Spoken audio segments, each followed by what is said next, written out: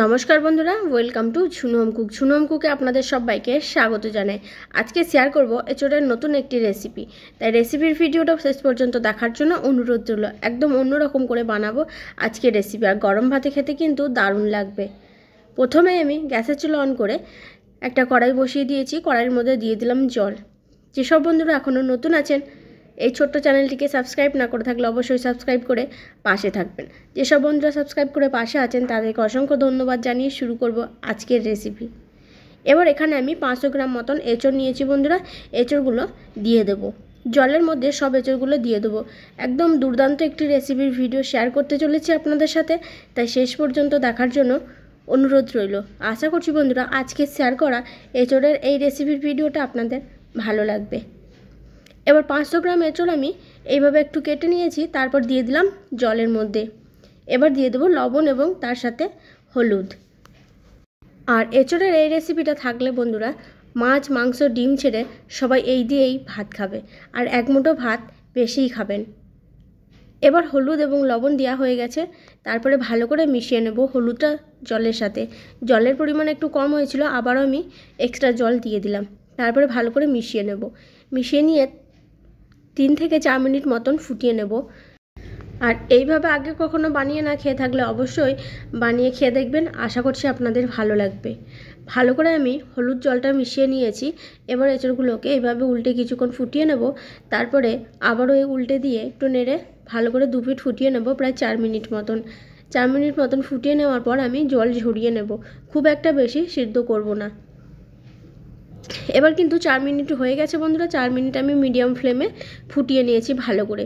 এবার জল ঝরিয়ে তুলে নেব। তারপর ভালো করে ঠান্ডা হয়ে গেলে একটু ঠান্ডা জল দিয়ে ধুয়ে ঠান্ডা করে তারপর খোসা ছাড়িয়ে কেটে নেব।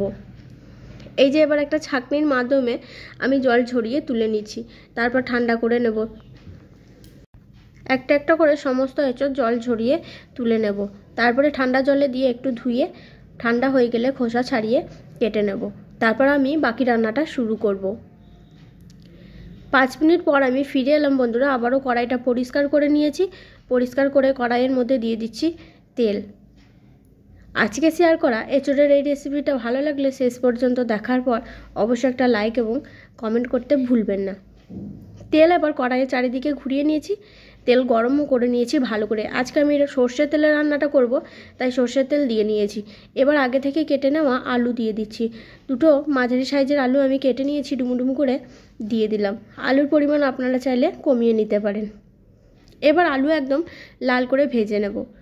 লাল করে আলু ভাজা হয়ে গেলে তারপর তুলে নেব। এই অবস্থায় আলু এবার আমি তুলে নিচ্ছি, খুব ভালো করে হলুদ দিয়ে লাল করে আলু ভেজে নিয়েছি। তারপর ওই তেলের মধ্যেই আমি দিয়ে দেব। আগে থেকে ভাপিয়ে নেওয়া খোসা ছাড়ানো এঁচড়। এঁচড় আমি খোসা ছাড়িয়ে কেটে নিয়েছি। ঠিক এরকমভাবে খোসা ছাড়িয়ে কেটে নিয়েছি বন্ধুরা। এবার তেলের মধ্যে দিয়ে দেব। এবার এঁচড়টাকে খুব ভালো করে লাল করে ভেজে নিতে হবে। প্রায় তিন চার মিনিট মতন লো টু মিডিয়াম ফ্লেমে গ্যাসের ফ্লেমটা রেখে এঁচড় লাল করে ভেজে নেব। তারপর এঁচড় ভাজা হয়ে গেলে তুলে নেব।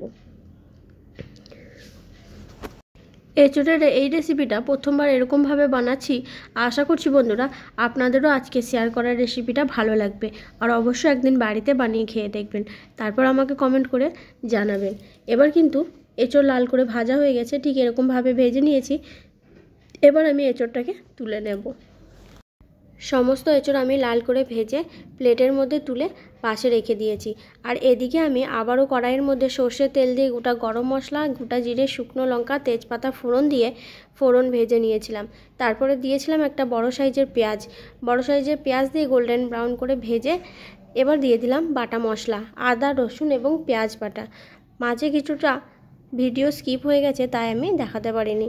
তো এবার পেঁয়াজ বাটাটা ভালো করে ভেজে নিচ্ছি। আদা, রসুন, পেঁয়াজ বাটা দু মিনিট মতন ভেজে নেব। সামান্য পরিমাণে লবণ দিয়ে দিলাম, তেল ছিটকাচ্ছিল সেই জন্য। এবার ভালো করে ভেজে নেওয়ার পর কাঁচা গন্ধ চলে গেলে দিয়ে দেব টমেটো কুচি। এখানে একটা মাঝারি সাইজে টমেটো কুচি করে নিয়েছি। টমেটো কুচি দিয়ে আবারও কিছুক্ষণ ভেজে নেব। তারপর টমেটোটা একটু ভাজা হয়ে গেলে এবার একে একে গুঁড়ো মশলা দিয়ে দেব। এবার একে একে গুঁড়ো মশলা দিয়ে দিচ্ছি। হলুদের গুঁড়ো, ধনিয়ার গুঁড়ো, জিরের গুঁড়ো এবং ঝালের পরিমাণ অনুযায়ী লঙ্কার গুঁড়ো দিয়ে নিতে হবে। দেড় চামচের মতন দিয়ে নিয়েছি আর সামান্য পরিমাণে দিয়ে দিচ্ছি কাশ্মীরি রেড চিলি পাউডার। এবার মশলাটা ভালো করে কষিয়ে নিতে হবে। দু তিন মিনিট মতন কষিয়ে নেব সামান্য পরিমাণে জল দিয়ে। একদম শুকনো শুকনো করে তেল ছাড়া অবধি কষিয়ে নিতে হবে। এবার আমি একটু জল দিয়ে দিলাম। জল দিয়ে ভালো করে মশলা কষিয়ে নেব। মশলা থেকে কাঁচা গন্ধ চলে গেলে এবং তেল ছাড়তে শুরু করলে আবারও আমি সামান্য পরিমাণে জল দিয়ে মশলাটা যাতে কড়াইয়ের গায়ে লেগে না যায়, সেই জন্য আবারও জল দিয়ে নেড়ে নিচ্ছি। এবার দিয়ে দিচ্ছি আগে থেকে ভেজে রাখা এঁচড় এবং আলু। এঁচড় এবং আলু দিয়ে তিন চার মিনিট মতন ভালো করে মশলার সাথে কষিয়ে নেব। যতক্ষণ না মশলার গ্রেভিটা একদম এঁচড়ের এবং আলুর গায়ে ভালোভাবে লেগে যাচ্ছে, তাই এইভাবে ভালো করে আমি আবারও কিছুক্ষণ কষিয়ে নিচ্ছি। অবশ্যই ঝাল এবং লবণ পরিমাণ মতন দিয়ে নেবেন বন্ধুরা। এবার তিন চার মিনিট মতন কষানো হয়ে গেলে তারপরে এঁচড় এবং আলু সিদ্ধ হওয়ার জন্য জল দিয়ে দেব।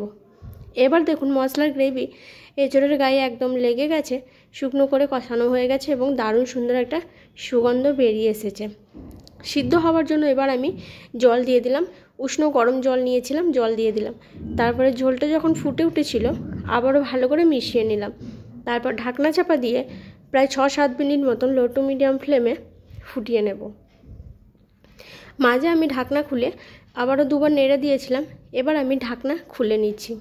ঢাকনা খুলে এঁচড় এবং আলু দেখে নেব সিদ্ধ হয়ে গেছে নাকি। তার আগে আমি দিয়ে দিচ্ছি এক চামচ মতন ঘি। ঘি দিয়ে আবারও দু মিনিট মতন ফুটিয়ে নিয়েছি। এবার কিন্তু আলু এবং এঁচড় পুরোপুরিভাবে সিদ্ধ হয়ে গেছে। এবার আমি গ্যাসের ফ্লেম বন্ধ করে দেবো। আশা করছি বন্ধুরা আজকে শেয়ার করা এঁচড়ের রেসিপিটা আপনাদের ভালো লেগেছে। শেষ পর্যন্ত দেখার জন্য ধন্যবাদ।